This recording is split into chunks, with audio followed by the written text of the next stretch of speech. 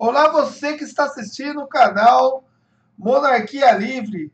Segundo o deputado federal, o príncipe Luiz Felipe de Orleans e Bragança, trineto da princesa Isabel, para podermos avançar como sociedade, como pátria e nação organizada, é necessário primeiro nos definirmos, ou melhor, nos redefinirmos só assim saberemos que caminhos precisamos percorrer para extrair o melhor de nós mesmos e de nosso rico país.